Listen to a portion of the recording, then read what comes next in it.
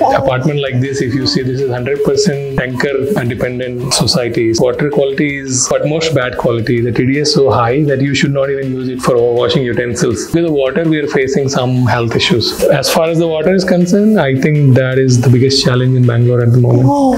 ಪ್ರಯಾಣಿಕರೇ ಗಮನಿಸಿ ಮುಂದಿನ ನಿಲ್ದಾಣ ಬೆಂಗಳೂರು ಮಹಾನಗರ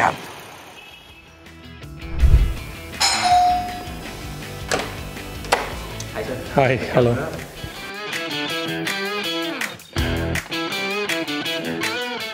The water is very hard, so it, it gets dirty. Like in two months, three months time, it will be completely black from white. How many? 40, 45? 43. 43 drops. Okay, brilliant. Very interesting. So it's very insightful and it gives me a conscious mindset to choose like what I need to do to, to have a better water to consume for myself and my family.